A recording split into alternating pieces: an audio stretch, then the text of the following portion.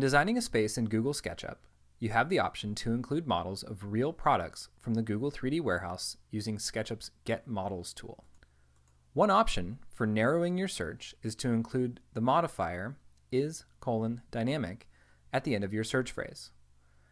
For example, base pots and pans followed by is colon dynamic will return search results of dynamic components matching the phrase. Additionally, when browsing the warehouse, you'll want to keep an eye out for the dynamic components symbol, which looks like this, two green squares and a triangle.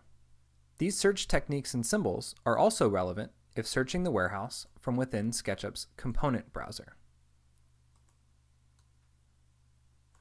If you are browsing the warehouse from the Get Models dialog, you can download a dynamic component directly into your model to work with it. If you're using your web browser to search and download the 3D model to a folder on your computer's hard drive, you must then import the file into Google SketchUp in order to preserve its dynamic functionality. Once imported, these virtual products can be customized to a particular SKU with just a few clicks of your mouse. Dynamic components also include additional information and interactive functionality built right into them, making them smart enough to behave as they would in the real world.